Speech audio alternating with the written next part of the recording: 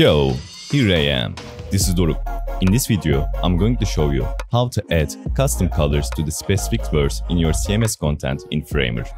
Let's get started.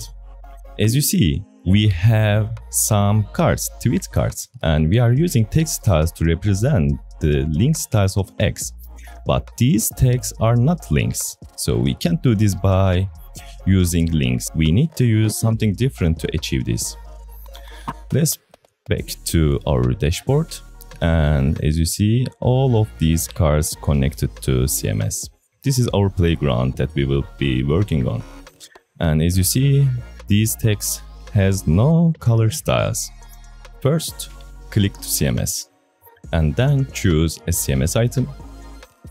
Let's go to our text editor and as you see we don't have any color style changing area in our text editor framework do not support yet. But to achieve this, we need to choose our word and click code.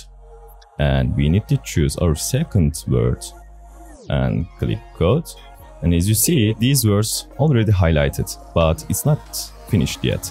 Let's click save and go back to our dashboard and go down and click plus icon and choose code.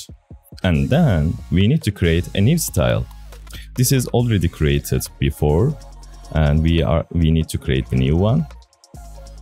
Choose and as you see this is not the thing that we want to do because this is normally using to highlight the codes and click edit choose our font and then we are removing the background fill and we are removing paddings and we are removing radius and choosing our color.